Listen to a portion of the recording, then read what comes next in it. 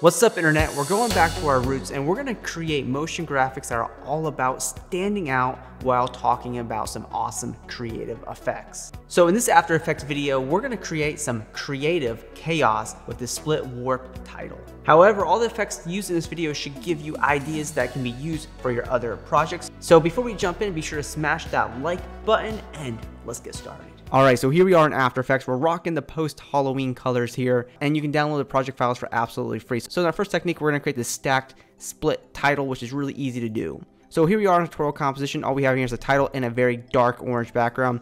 So once my title is ready to go, I'll go to layer pre-compose and I'll call it title placeholder and click OK. So once I'm pre-composed, I'm gonna go to the project panel, grab my title placeholder that I just created and go to edit, duplicate, and I'm gonna bring this right into our timeline and I'll make sure that this new duplicated version is right underneath the first one and I will go ahead and recenter this. Perfect, so now you're able to go into that other composition and change out your title, but we'll go ahead and talk about that later. So what I'm to do is take my title here, I'm going to go ahead and duplicate it, and I'll go ahead and bring it up by a little bit like this, and I'm to grab the rectangle tool, and I'm just going to create a mask like so. So what I'm doing here is just creating a little bit of a gap, and we can use the arrow keys to adjust this. Now we'll want to continue doing this, so we'll duplicate this again, and we'll go ahead and bring this one up, then we'll hit M on our keyboard for the mask and we can select that mask there and kind of just bring this up like so. And we can create several more duplicates of this. And go ahead and create as many copies as you want as it gets progressively smaller. Now the one thing we're going to want to do is animate this. So we'll go into our original placeholder here and we'll grab our title, hit P on keyboard for position.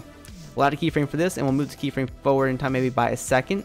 And we'll go ahead and bring this downward like so and we'll grab both the keyframes, make them easy ease by hitting F9 on our keyboard. So this is what we'll have. So one thing we'll do is create a staircase animation here. So we'll grab our top ones and just offset them in time by a few frames. So now we'll have this animation like so, and that looks really cool.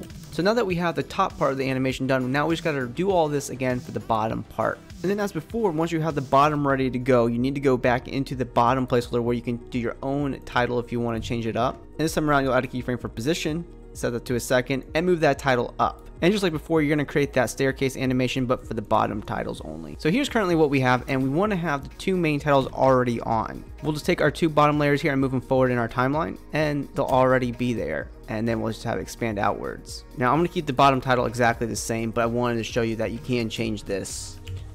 And what I'm going to do is take these two original layers, and I'm going to go ahead and just split them and delete the original cuts there. So what I can do is take all my layers and offset them in time. And with some clever position keyframe animation, I can have these two middle titles start off in the center by aligning these back in the center of the composition. And with his clever animation idea, we can have his entire title expand out in parts, and I really like that. So now that we have the bulk of our work in here, we can take this next level with some really cool creative effects. The first thing we'll do is an awesome glow effect. So we'll go to Layer, New Adjustment Layer, go to Effects, Stylize, we'll grab Glow. We'll set the glow threshold to 100%. We'll duplicate our glow effect so we'll have two here. We'll bring down the glow threshold to about 45%, and we'll set our glow radius all the way to max, which is 1000, and then we'll come here to glow intensity and set this down to like 0.4. Nice. And then let's go to effect, noise and gradient, and just add a quick noise to this. And I'm going to set this to like 5% noise and uncheck use color noise like that. So if you zoom in there, you get a little bit of nice noise in there and that looks good. And quickly before we move on, I know that creating motion graphics from scratch is time consuming and sometimes difficult. That's why we have the 150 pulse pack to make your work stand out right here in After Effects. So this is our 150 motion graphic extension right here for After Effects. We call this pack Pulse because we have these really cool designer, you know, full screen motion graphics for you know, typography, Instagram stories, cool animated backgrounds, lower thirds, and even long form promos. But how this pack works is aimed to help you save time. So for example, we can come here and apply a template that we like, and it applies this full animation into our active project. We can double click the composition, and we go into each title layer and we'd easily change out our titles and you can quickly change the colors of every single template in here with a click of a button to whatever color palette that you need and the animation will update in your main composition so if you're looking to save time and produce work that's just right out of the box, you can take a look at any of the packs we have off our website. I will link them below if you do pick up anything. You will be supporting our channel, so thank you very much. So one thing I don't really like about the text here in the middle is that it's so clean. So I want to mix this up with some opacity effects and it's really quick what we can do here. So we, what we can do is grab say one of these layers here, hit T on keyboard for opacity and alt click the stopwatch. And we'll type in random, open parenthesis 100 and there'll be close parenthesis like that. So what's going to happen is we're going to have this random flicker here where the opacity is going to go from 0 to 100. And we can take this expression, copy it, and we can paste it to, uh, say, another one here as well. So I think that really mixes it up and looks really cool. So I want to take this a step further and make this wonky and even transition it off. So some cool creative effects that we can go through here. So what we're going to do is take all the titles that we have here and pre-compose it. And we'll call it title stack, click OK. And what we're to do is go to Effect, Distort, and we're to grab Turbulent Displace. All right, and what we want to do is after the title has been stacked in here, we want to go ahead and create that animation. So what we'll do is we'll add a keyframe for mount, set that amount to zero, and then we'll move forward maybe by a second, and then we'll set this up to like 300. And we'll want to come here to the evolution, alt click the stopwatch, and type in time asterisk 50. So now we'll have this wonky animation in here and one thing I want to do is even take this further and kind of transition this off. So we'll come here to effect, transition, and we're going to grab CC uh, scale wipe. And this is one of my favorite effects these days. So how this works is simple. We'll come here to the direction and we'll set this actually to negative 90 degrees. So this will go off on the left side here. So what we're to do is come here and increase the stretch. And you get this really awesome distorted look where it's kind of being pulled off the screen. So we'll go ahead and set that stretch down to zero, of course. We'll add a keyframe for it. So we'll move forward by a second or so, increase the stretch, kind of like that. And one thing we'll also want to do is at that first keyframe, add a keyframe for center, move forward, and animate that center point to be over. So this way, it can be kind of flown off the screen. So now we'll have this wonky animation here and you're welcome to make those easy ease keyframes as well.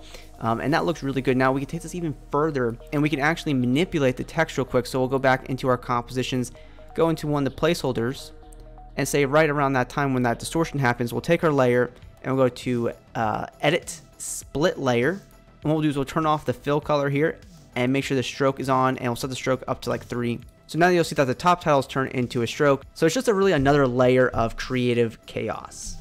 Alright, so the final effect I want to do here is just split this up and give it a little bit more detail. So another thing that you can put in your arsenal. So we're to create a quick RGB. We'll go to effect channel and we're to grab the shift channels effect. Make sure that this is above everything and go to green, set it to off, go to blue and set that off as well. Then take your title stack here and duplicate it. Turn off the red and we'll turn the green back on and we'll duplicate it once more. Turn off the green and then set this to blue. Take your two top layers here and set the blend mode to screen. And all you have to do is offset this. Now you can hit P on your keyboard for position and just kind of offset this. But with the turbulent displace effects we can just use something a little unique. We can just increase the size by a hair.